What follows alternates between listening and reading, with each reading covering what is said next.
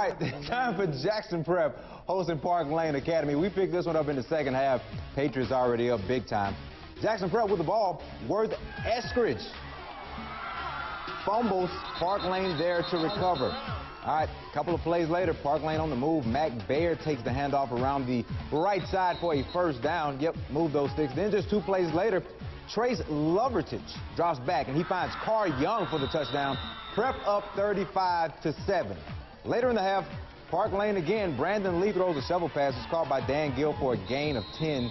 10 is probably a first down. A couple of plays later, Dan Gill again for another first down. You would think the way this highlight was cut that Parklane actually won the game, but like I said before, Prep already up big. That means they did all that damage before we got there, folks. They're still good. They win by a final of 35 to 7.